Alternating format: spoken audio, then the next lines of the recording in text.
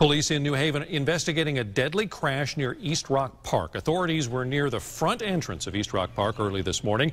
No word on the cause of that deadly crash.